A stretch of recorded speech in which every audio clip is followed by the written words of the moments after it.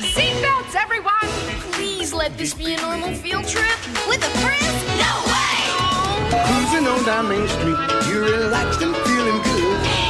Next thing that you know,